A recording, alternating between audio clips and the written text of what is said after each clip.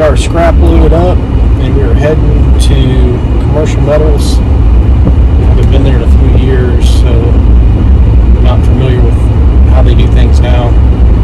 But I guess supposedly you just pull up on the scale, they weigh you, you dump your metal, and then they tell you where to where to go dump it, and then you get back on the scales, and then I guess they give you cash. It's 11, 20 something, 23 per hundred.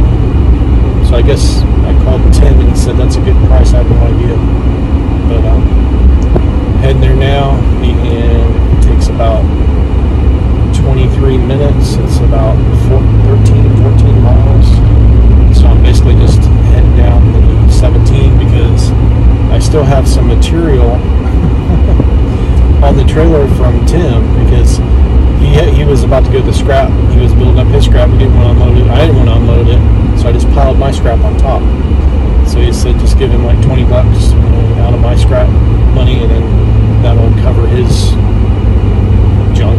So anyway, that's what we're doing. And I think I got maybe at least one more load. Uh, I could have did probably an all one load if uh, I started from the scrap from the beginning, but since there was half full of stuff, uh,